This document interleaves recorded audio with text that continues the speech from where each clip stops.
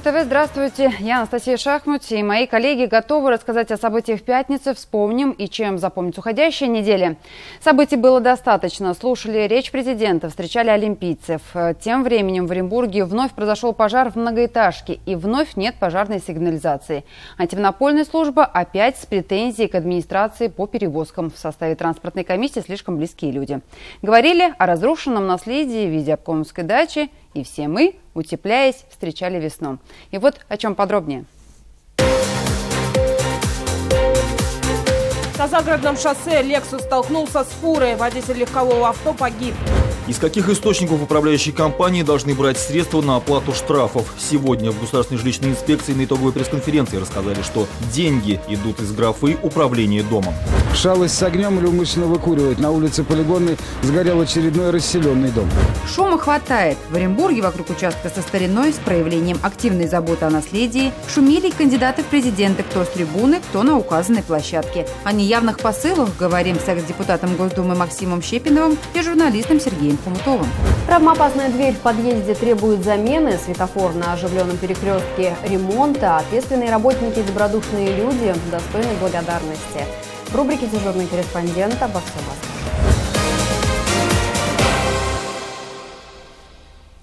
Утро пятницы в Оренбурге началось с серьезной аварии. На загородном шоссе джип влетел в фуру. В результате ДТП водитель иномарки погиб на месте. По предварительным данным, около 7 часов утра водитель «Лексуса» ехал в сторону 23-го микрорайона в районе торгового центра «Кит». Мужчина по неизвестным пока причинам выехал на обочину и врезался в припаркованный впереди грузовик «Фридлайнер». Машина полностью оказалась подмята под прицеп большегруза. От полученных травм мужчина умер на месте. Тело в специальном оборудовании доставали спасатели, которые первыми приехали на место происшествия. Близкие и знакомые до сих пор не могут поверить в произошедшее. Торопился. И вот так случилось. Ну, может, уходил от, от аварии, может, еще что-то было. Ну, регистратор найдут, видеорегистратор есть в машине попозже. А сколько ему лет было? Ой, 50, 50 с копейками. А чем занимался? Занимался строительством. Почему водитель совершил смертельный маневр, неясно. Это предстоит теперь выяснить следователям. Одна из версий – мужчине стало плохо. По факту аварии ведется проверка.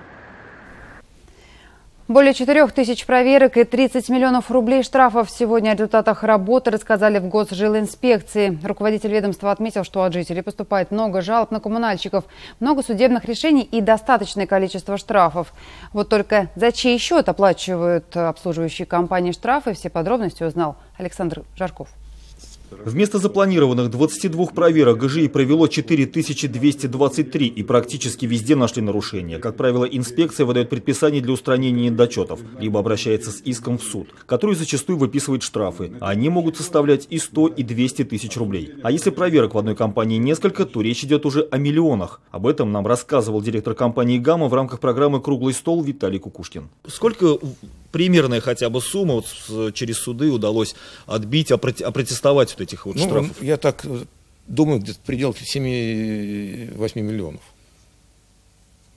Нормальные такие у вас суммы там в управляющей компании. То, то есть, смотрите, ну, я, у нас ее нет, этой ну, суммы. Нет, это... понятно, я имею в виду, что вам выписывают нормальные да, ну, такие штрафы. Такие. Да, ну потому что здесь, понимаете, одна, получается, один протокол отбили. У них интерес, азарт, ну, наверное, да, возникает. Да. Давайте еще. И вот это вот такая вот тема получается, что конца и края не видно. Собственники, в свою очередь, задаются вопросом, а из каких источников управляющая компания должна брать деньги на штрафы? Не из кармана же жильцов. На этот счет в ГЖИ есть четкое мнение. Деньги эти должна брать управляющая компания с графы управления. То есть не за содержание дома, а за управление, что ей выделяется. А в управлении ей выделяются деньги на введение документации, там, прием жалоб, заявлений, там, ну, различные функции управления этим домом.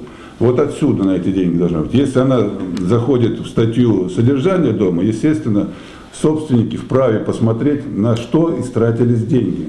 Только вот нам удалось выяснить, что деньги в графе «Управление домом» – это своего рода процент, который отчисляется с коммунальных платежей в первую очередь для зарплаты руководителя, бухгалтера и другого персонала. То есть это деньги собственников дома, и сумма это гораздо ниже, чем назначаемые штрафы. В ГЖИ сообщили, что есть предложение. Взысканные с управляющих компаний штрафы необходимо направлять не в бюджет, а, например, на капитальный ремонт того же дома, откуда а, были деньги взысканы. Но пока это лишь на стадии идеи. О наследии настойчиво говорили всю неделю даже больше. Снос заброшенного строения на улице 8 марта, который по привычке называют обкомовской дачей, вызвал бурную реакцию. Собственник территории надумал использовать участок по своему усмотрению. Скорее всего, будет элитное жилье в красивом уголке Оренбурга. Министерство культуры сразу вспомнило, что это очень ценный объект, и его надо сохранять. По цепочке подключились и общественники, прокуратура, депутаты. Ценность объекта в истории или все же в цене? И почему другие памятники не вызывают такой заботы?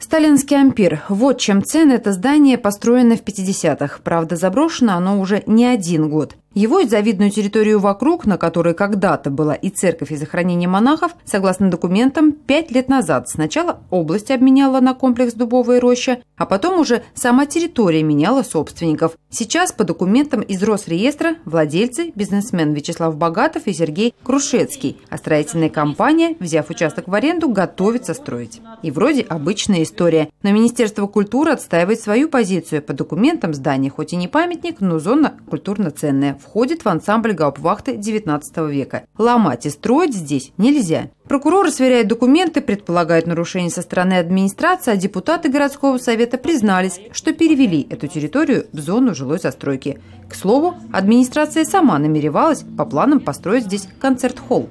Ну, на самом деле, вот эта вот ситуация вся с этой обкомовской дачей, о которой мы говорим, она по меньшей мере странная.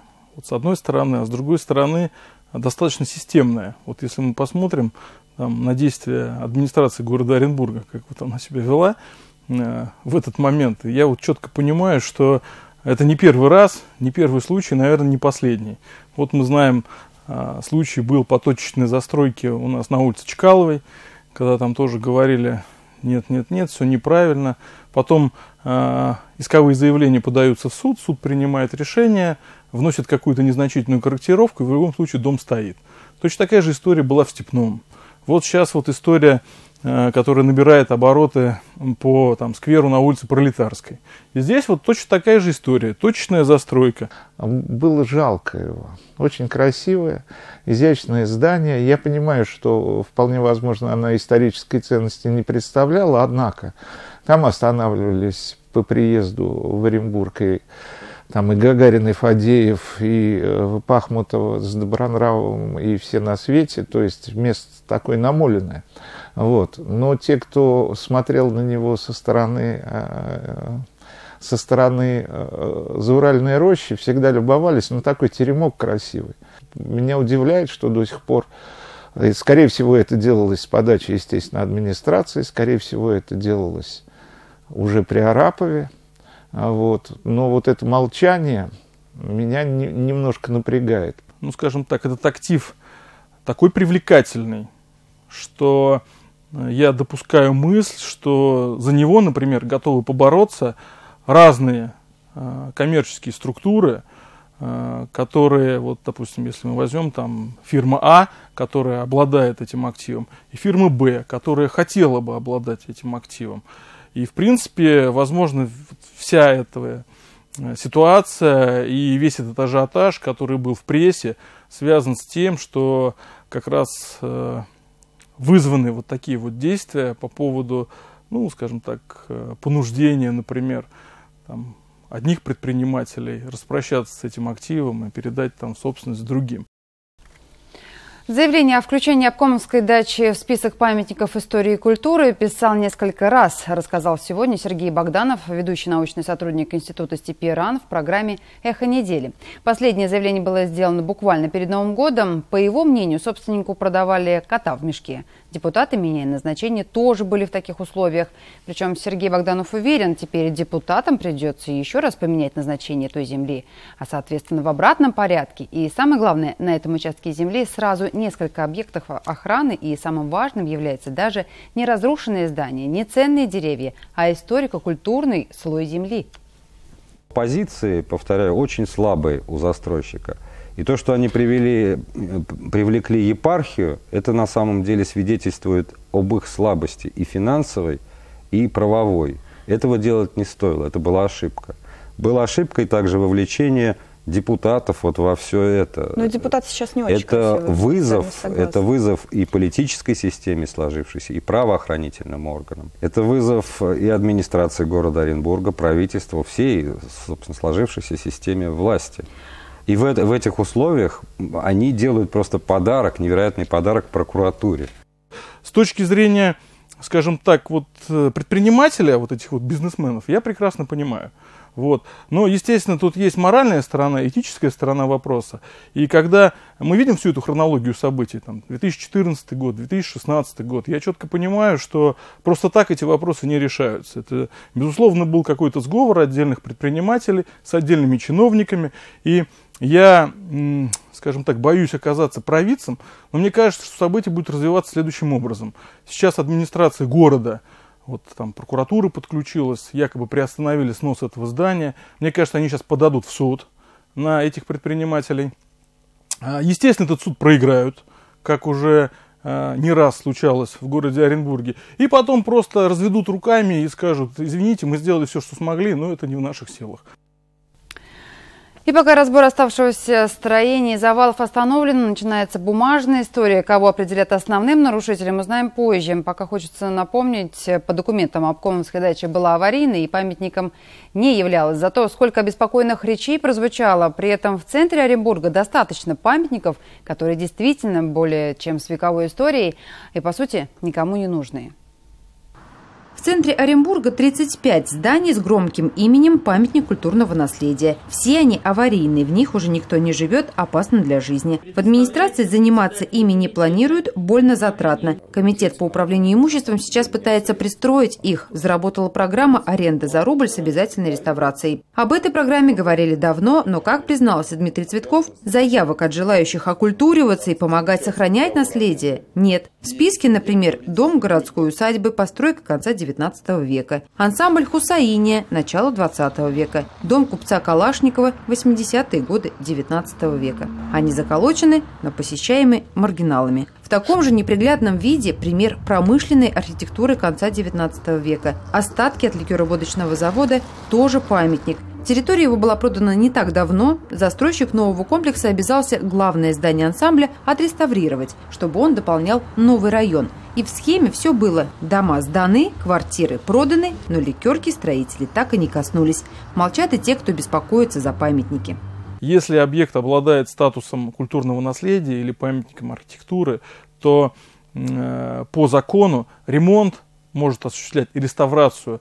Насколько мне известно, у нас в городе Оренбурге только одна организация, э, у которой есть лицензия на эту работу, и цены там э, они такие заоблачные, что, ну, по-моему, там на порядок даже выше, нежели чем э, делать ремонт в каком-то там соседнем здании, которое этим статусом не обладает. Все это показывает, что системы такого сохранения в городе нет. И это, я полагаю, что вина не только а, по охране памятников, но и главного архитектора, который у нас тяготеет к этой точечной застройке. Меня вот это, конечно, пугает. Какие бы новоделы не возникали, это всегда новодел. Вот если мы говорим, там, допустим, о ликерке, там построен огромный жилой комплекс. И когда выдавалось разрешение на строительство, как раз застройщику, наверняка эти моменты должны были оговариваться – что, слушайте, ребята, вы строите как раз, э, вот, э, скажем так, в шаговой доступности, там то, что шаговой, там рукой можно дотянуться, с таким вот объектом, который обладает статусом культурного наследия. Поэтому перед тем, как там, вводить объект эксплуатации, э, жилое здание ваше, мы будем в первую очередь смотреть, что случится вот с этим вот объектом недвижимости, с этим памятником. Вот. Но я так понимаю, что, скорее всего, это каким-то образом было забыто, а может быть, там такой договор и присутствовал, но его положили под сукно, и вот то, о чем вы говорите, да, действительно произошло, и получается, что э, объекты, скажем так, коммерческие здания и сооружения ввели, а вот этот памятник его просто бросили. Надо было создавать какой-то отдельный фонд. Но видите, э, ситуация в стране такая, что любое меценатство не дает преференции э, в налогообложении. Вернее, формально оно, может, и существует, но реально э, налоги как брали, так и будут брать. Во многих странах и Европы, и Америки у них-то история, это, извините, там 250 лет, вот, 270, да, но они так трепетно и бережно относится э, к своей истории.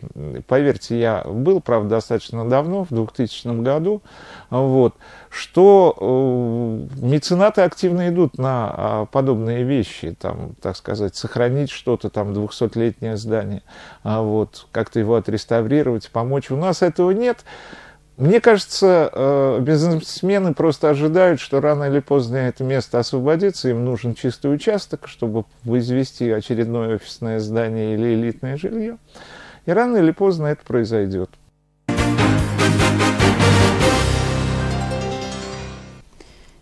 Теперь к событиям этого дня. В Оренбурге пьяный водитель врезался в крыльцо лицея номер 6 на улице Томилинской. К счастью, авария произошла рано утром, и детей в это время в школе еще не было. Как выяснили полицейские, за рулем иномарки находился 26-летний мужчина. Лихач не справился с управлением. Сначала протаранил ворота, а затем влетел на крыльцо учебного заведения. Сообщается, что молодой человек был пьян. Правоохранители сейчас по данному факту ведут проверку. О других авариях, а также о пожаре и наказании для джентльменов с преступными замашками расскажем в рубрике «Ориентировка».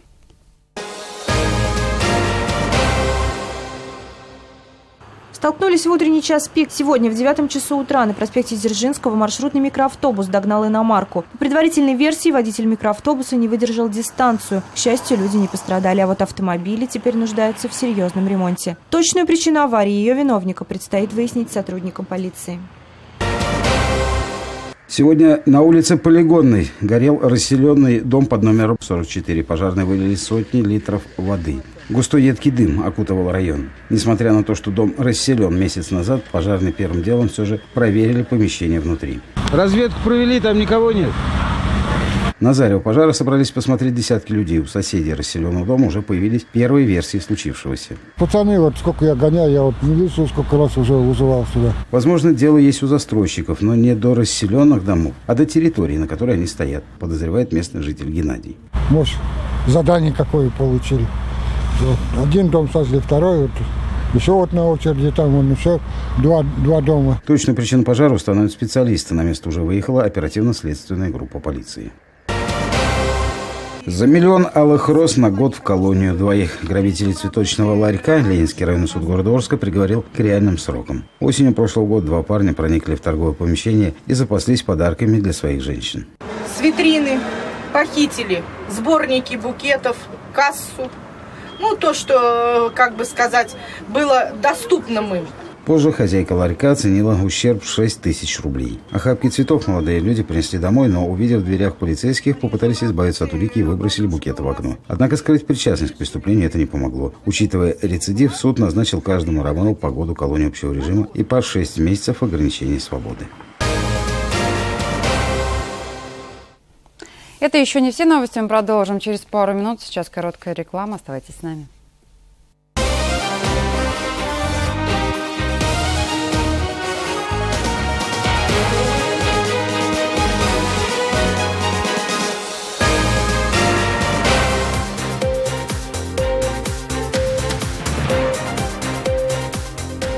Продолжаем выпуск и вновь э, к одной из тем недели. Послание президента, обливание водой и бранью, уход из студии – все это о политической жизни этих дней. Предвыборная игра на пике. Осталось две недели. Кто-то из кандидатов забыл о рамках приличия, кто-то просто не готов э, в поданном формате обсуждать свои программы, а есть и те, кто напрямую нарушает Конституцию. Но, очевидно, это не важно, ведь, как известно, шоу должно продолжаться.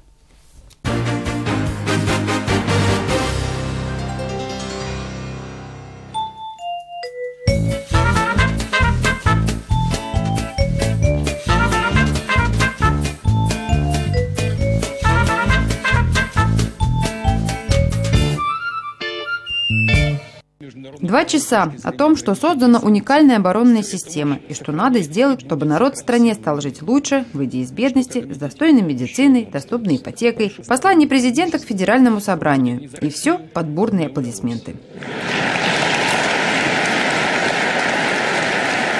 Тот факт, что по сути был нарушен главный закон, Конституция никого не озадачил, ведь это послание должно было зачитываться в конце 2017 года. Но, очевидно, два месяца не срок, тем более в такое жаркое для самовыдвиженца Путина время. Жарко на этой неделе было и на дебатах. Остальные кандидаты, говорят, хотели донести свои программы, а вышло совсем не так. Обливали водой, бронились, а некоторые вовсе уходили, покидая, цитата, «этот базар». В сети тем временем живо откликнулись граждане. Кандидаты превратились в мемы, больше обсуждали внешний вид претендующих на пост президента, например, у кого к выборам сильнее растет борода, а в комментариях все чаще употребляется слово «клоунада». Это худшее предвыборное информирование о кандидатах за прошедшие 20 лет. И если у одних участников причиной может быть неопытность и недостаточное финансирование, то для других оправданий найти сложно. Это уже оценка политологов. Отсутствие тезисных лозунгов о программах, нет внятных роликов – вот главные претензии.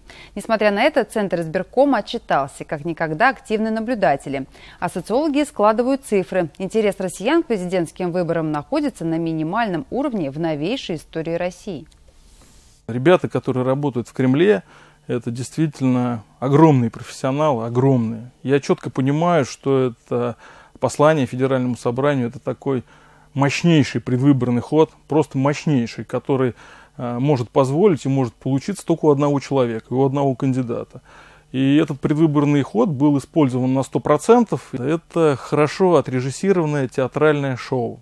Вот. И, скажем так, вот э, не все участники этого театрального шоу до конца понимают, что они там актеры.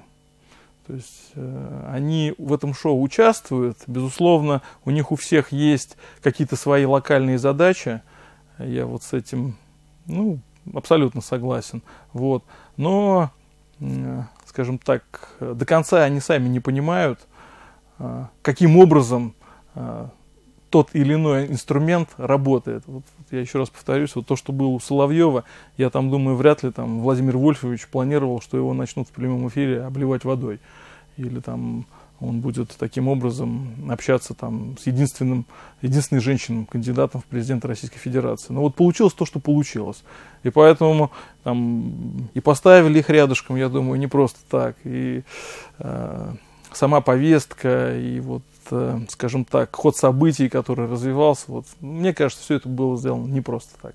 Сказать, что это э, массировано и правильно продумано, и спланировано э, в целом нельзя. И в этом смысле я с политологами согласен, что это самая невнятная предвыборная кампания. Сказать, чтобы вот Люди э, активно ждали э, каких-то заявлений, обсуждали какие-то, так сказать, те или иные тезисы. Нет, очень вяло. Вот ощущение полного болота, не, не, не путать с болотной площадью, вот, интерес минимальный. Наверное, это и прогнозировалось, но вот эта вот навязчивая реклама э, «приди и проголосуй», вот, во всех, так сказать, скоро из утюгов, как при Брежневе будут звучать эти призывы, вот, они повсюду, вот, они, мне кажется, что вызывают обратную реакцию.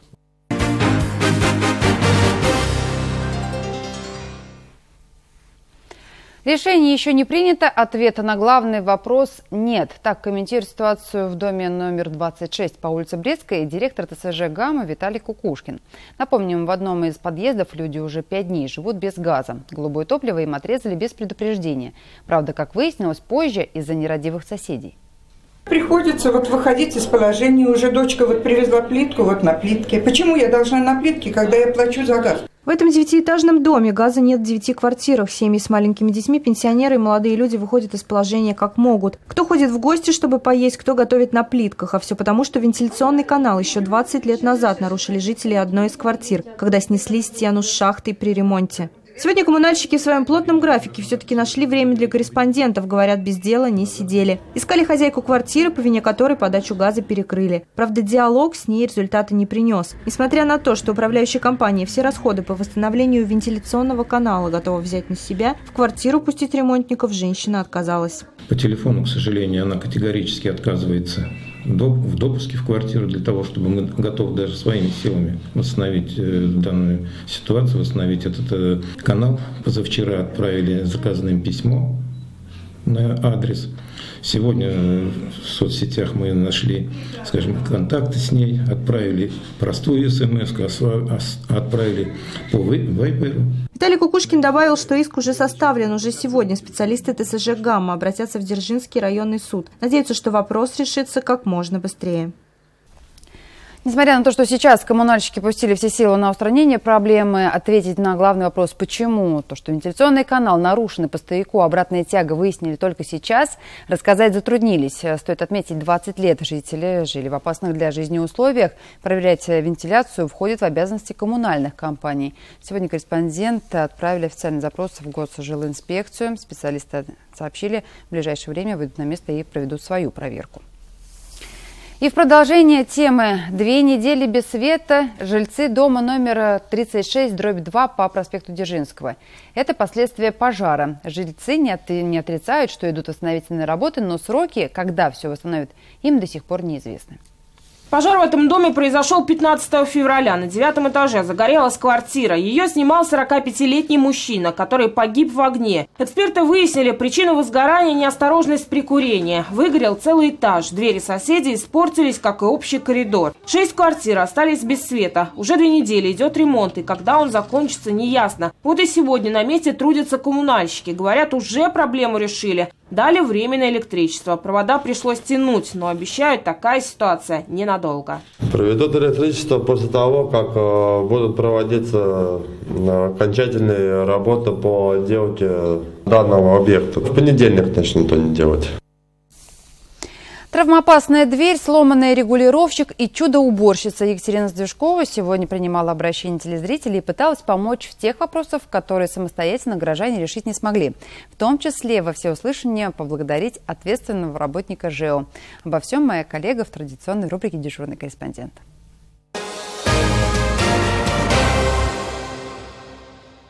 Светофор не выполняет свои главные функции, что опасно для всех участников дорожного движения. Автоледи, обратившаяся к нам, рассказала, что на перекрестке улицы Пролетарской и проезда Нижнего уже несколько дней не работает электронный регулировщик.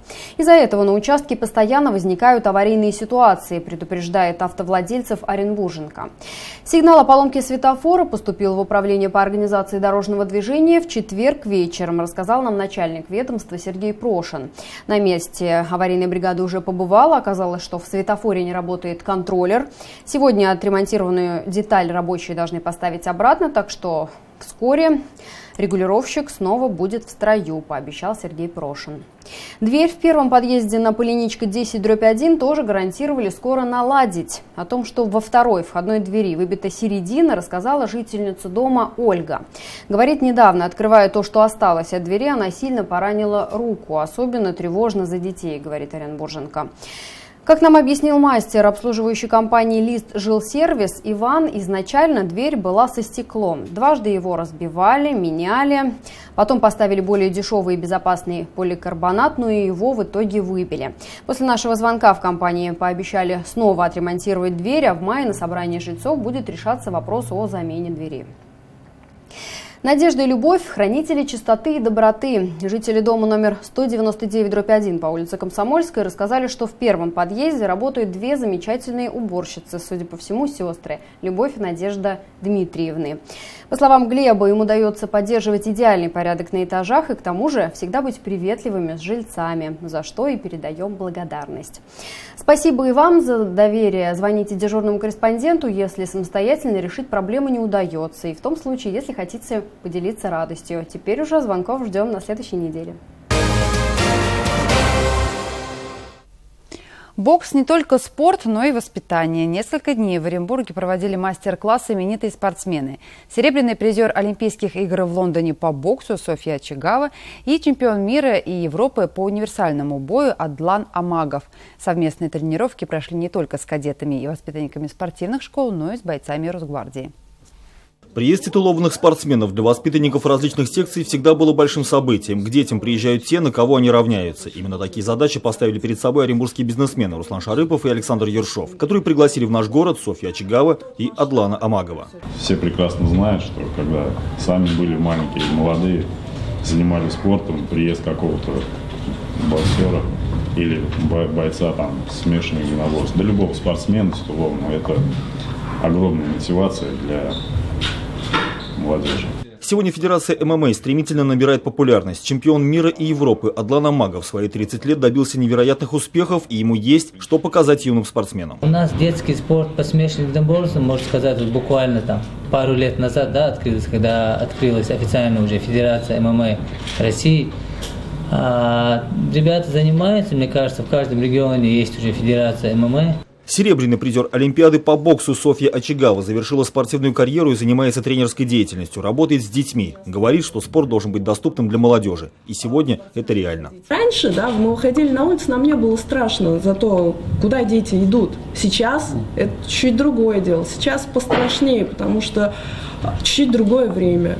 Вот. И мне бы, конечно, хотелось бы, чтобы все-таки мы могли сохранять детей, тем более к нам не идут мажоры, к нам не идут богатые дети, к нам идут дети, которым действительно, зачастую они в сложной жизненной ситуации.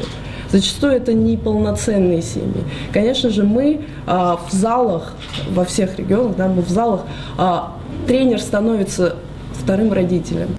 Три дня именитые спортсмены пробудут в Оренбурге. Впереди еще мастер-классы в спортивных школах, побывают в президентском кадетском училище, уже поработали и на базе СОБРа. Силовиками провели совместную тренировку. Спортсмены надеются, что новые навыки помогут сотрудникам Росгвардии в борьбе с преступностью. И пока к этой минуте все. О чем не успели рассказать, обязательно продолжим в 23 часа. Хорошего вечера и до скорой встречи.